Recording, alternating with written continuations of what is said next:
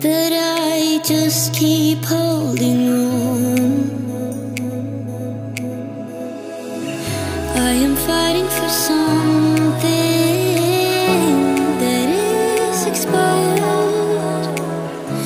Cause I find it hard to let go. So please don't go.